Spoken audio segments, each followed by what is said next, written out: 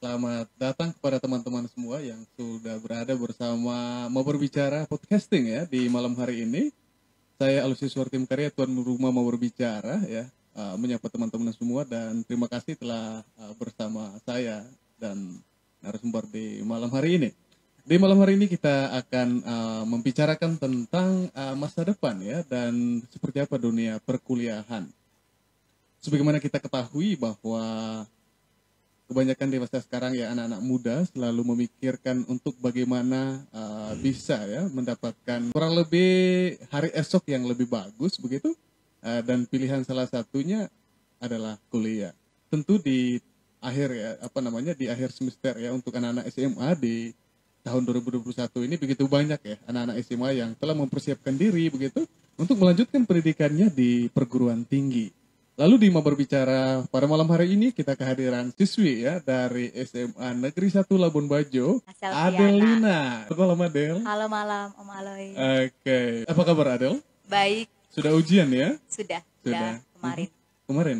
Oke, belum kabar lulus lah ya? Sudah berita Sudah, lulus. sudah ya. berita lulus. Kamu lulus? Lulus. Lulus Amin. luar biasa. Ini eh, tentunya berkat eh, kerja keras ya dari Adel selama ini ya, setiap malam belajar gitu ya. Baik. Ya, betul Hmm, sekali. SMA Ya, Negeri 1 Komodo Labuan Bajo Iya, ya. iya. Jurusan apa Adel? IPS. IPS.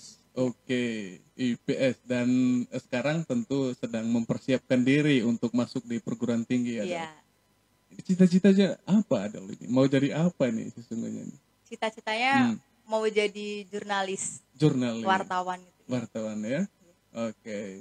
Ini eh, sejak kapan Adel punya mimpi untuk jadi jurnalis?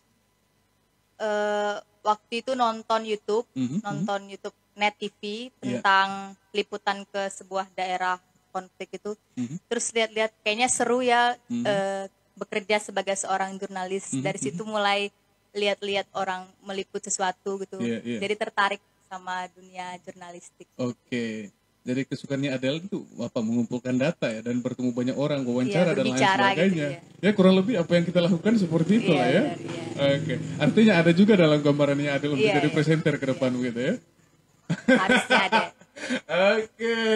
Adele ini luar biasa nih ya. Bisa diceritakan Adele bagaimana kisah selama ini di SMA Negeri 1 Labuan Bajo apa? SMK Negeri ya? SMA Negeri 1. SMA, SMA Ya, Negeri 1 Labuan 1. Bajo. Adakah kisah yang membuat Adele apa?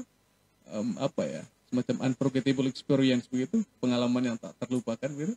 Kalau pengalaman yang tak terlupakan Mhm. eh, paling semasa pandemi ini karena sekolahnya dari rumah. Kan Hmm. belum pernah ada sekolah dari rumah gitu ya. iya, iya, iya. Paling itu aja yang tidak terlupakan sama beberapa kali ikut kegiatan literasi kan Hmm. ada apa komunitas literasi juga di SMA Negeri Pena Kertas. mhm. Paling ikut kegiatan itu aja. Oke, oke. Ya dua tahun yang lalu. Dua tahun yang lalu. 2019, Iya. Oke, oke.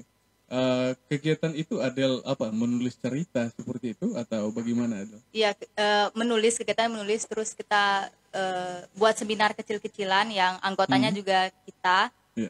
Terus nanti kita presentasikan eh, apa yang kita tulis di depan teman-teman gitu. Mhm. Jadi kegiatannya gitu aja, ada camping literasinya sama Hmm. berbagai sekolah gitu. Hmm, Dari hmm, hmm. media Cakrawala NTT waktu itu. Oke, oke. Ini yang memprakarsainya media Cakrawala NTT. Iya. Dari situ buatlah komunitas di sekolah Pena Kertas. Hmm, hmm, hmm, Gitu. hmm. Itu dipandu sama guru-guru lah ya. Iya. itu ya. Ada dua guru, Ibu Hmm. Mayang Mhm. sama Pak Guru, Pak Guru ya. Oke, itu Pak Guru, Pak Guru siapa namanya? Pak Pak Yonas. Pak Oke. Pak Yonas. Adel waktu SMA kegiatan uh, literasi itu selain selain yang tadi disampaikan, aktivitas Adel selama di SMA apa saja dulu? sama kayak kebanyakan anak SMA yang lain mungkin Mhm, mhm. Eh, nggak banyak kegiatan ya paling kayak beberapa kali ikut lomba olimpiade geografi gitu Hmm, hmm, hmm. terus udah paling nggak ada yang spesial di SMA itu Oh gitu ya. selain karena sekolah di rumah ya Oke, ya mungkin karena sekolah di rumah Iya, kali itu ya. yang- menyita waktu satu tahun lebih ya Adel. ya ya? satu setengah tahun Satu ya satu tahun. tahun lebih lah Satu tahun lebih lah ya. Iya. Heeh, heeh. Oke. Nah Adel ini sekarang kan kamu sudah tamat ya? iya tamat. Tamat dengan jurusan kemarin IPS, IPS. ya. Oke. Ini rencana mau melanjutkan pendidikan di perguruan tingginya di mana, Adel? di Bali di Universitas Uda Undayana Undayana di Bali Udayana. Iya. Oke. Itu punya alasan tidak, Adel? Kenapa kamu pilih? Ini dari Labuan Bajo misalnya, kita ada Politeknik El Baju Komudus ya, misalnya begitu. Mengapa Adel pilihnya di Bali? Itu karena pertama disuruh ya oleh Mhm. orang tua Mhm. sekolahnya. Terus selain itu juga karena Bali dekat sama Labuan Bajo jadi nggak jauh-jauh banget dari Labuan Oke. Bajo. Tadi Adel memikirkan untuk mengambil nanti prodinya jurnalistik ya, Iya, ilmu komunikasi. ilmu komunikasi. Oke. Itu nanti karena Adel tadi berpikir bahwa ke depannya Adel mau jadi jur- jurnalis lah ya. Iya, iya. Kenapa Adel mm, mengambil prodi jurnalistik itu?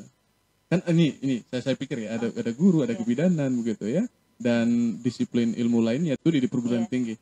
Uh, mungkin diceritakan Adel apa selain yang tadi diceritakan di awal hal lain yang Adel membuat keputusannya 100% ambil itu?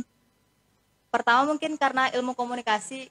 Kalau Hmm. aku kan awam ya, mungkin yang aku pikirkan ilmu komunikasi itu kita banyaknya berbicara ya. Oke, oke. Jadi sama kayak eh, hobiku juga berbicara. Mungkin cocok serasi gitu ya, ditambah lagi dengan ada jurnalistiknya gitu. Mhm. Mungkin hanya karena aku suka berbicara, kayaknya ilmu komunikasi cocok sama aku gitu. Oh, Adelnya sukanya berbicara ini Suka ya. Oke, luar biasa. Dari saya pribadi ingin mendapatkan lebih banyak lagi perspektif ya sudut pandang Adel eh, terhadap pilihan ya perkuliahannya di Bali. Tadi disampaikan nanti akan melanjutkan pendidikannya di Udayana. Iya. Oke. Ini Adel, kalau lihat dari status Labuan Bajo sebagai apa destinasi pariwisata super premium ya, di mana ke depannya akan membutuhkan banyak pekerjaan. Kamu kenapa tidak tertarik masuk misalnya ambil prodi pariwisata begitu? Pariwisata, kayak sudah terlalu banyaknya. Jadi kita ambil jurnalistik biar kita bisa meliput pariwisatanya. Hmm. Oh begitu kita ya? nggak perlu jadi guide. Hei, luar biasa ya. Oke. Nanti uh, akan meliput kegiatan Nah, aktivitas nanti pariwisata kunjungan. Aloy aku yang liput. Oh, Nah, gitu hei, kan. luar Nanti. Kak Diki datang, aku yang liput. Oke, luar biasa ini jurnalis. Saat ini adalah kurang begitu banyak jurnalis wanita ya dari Labuan Bajo. Tentu atas apa cita-cita yang ada. Waktu Adel SMA dulu di SMA Negeri 1 Labuan Bajo, pernahkah diceritakan oleh gurunya Adel bahwa gambaran tentang perguruan tinggi itu seperti apa? Atau yang ada dalam benaknya Adel, perguruan tinggi itu seperti apa semuanya? Yang kamu bayangkan Adel? Kalau dari gurunya nggak pernah ya ngomong Hmm. tentang perguruan tinggi. Mhm. Tapi kalau bayanganku, mungkin kayak sama kayak sekolah-sekolah sebelumnya, cuma namanya saja perguruan tinggi. Di Hmm. bayanganku kayak gitu ya. Mhm. Sama kayak kita ngerjain tugas, kita dapat materi, Mhm. sama aja kayak sekolah sekolah SMA, SMP ini, tapi lebih berat, lebih difokuskan lagi eh, pelajarannya. Mungkin kayak gitu ya. Karena aku kan belum pernah kuliah, aku nggak punya gambaran perguruan tinggi. Mhm. Mungkin kurang lebih kayak gitu ya. Tapi aku nggak tahu juga kayak gitu. Siapa favorit jurnalis yang Adel idolakan? Eh, Najwa Shihab kayaknya. Najwa, Iya. Najwa Shihab. Mengapa memilih dia? Keren ada aja. banyak itu, ada banyak itu di Dia Indonesia. kayak keren aja gitu. Keren apanya? Keren karena dia cantik begitu? Karena dia selalu tampil di TV mungkin? Atau bagaimana? Hmm, nggak kayak karena dia tuh setiap kasih pertanyaan ke orang-orang tuh kayak tajem gitu. Hmm, hmm, hmm, hmm.